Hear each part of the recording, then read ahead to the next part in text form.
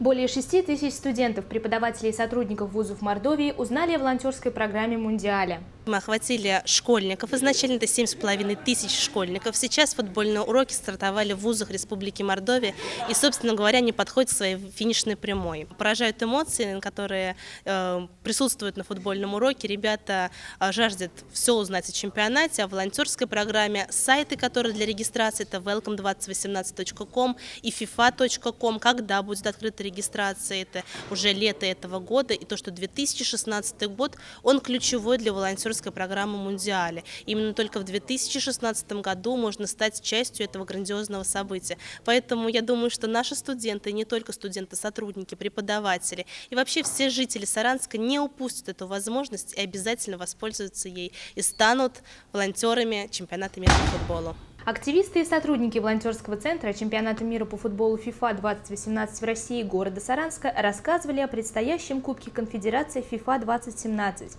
чемпионате мира по футболу FIFA 2018 в России, городах-организаторах, портале welcome2018.com, официальных талисманах турнира, о сроках, требованиях и условиях отбора волонтеров Мундиале и, конечно, о различных направлениях волонтерской деятельности.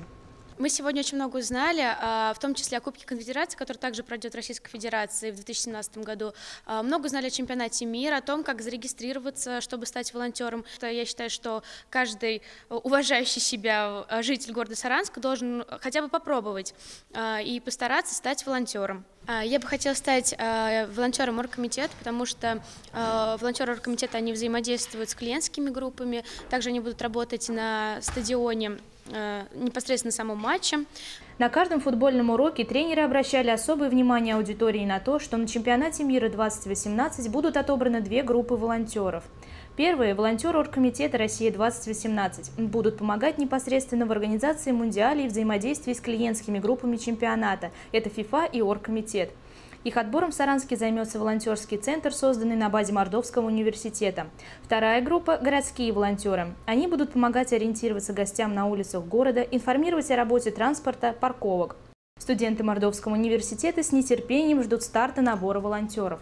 Чемпионат мира по футболу – это возможность для меня практиковать свои языки, а, пообщаться с носителями языка, а также стать частью истории такого события.